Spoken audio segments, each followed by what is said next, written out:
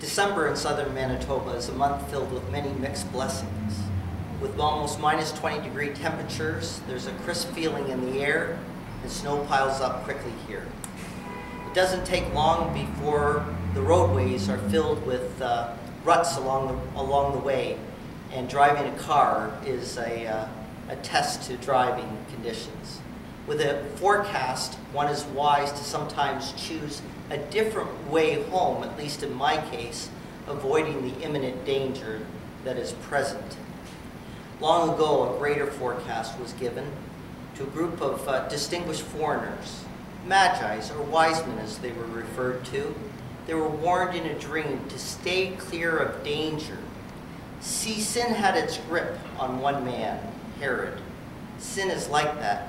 It causes deep threats from freedom that otherwise we enjoy.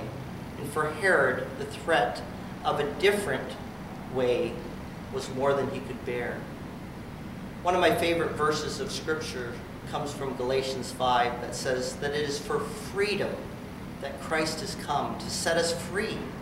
We're no longer to be yoked again to a chain of slavery. I'm thankful for the gift of Christmas, for the gift of Jesus. I'm thankful for the warnings to stay clear of the dangers of sin. Choose Jesus. Choose life this Christmas. God bless you.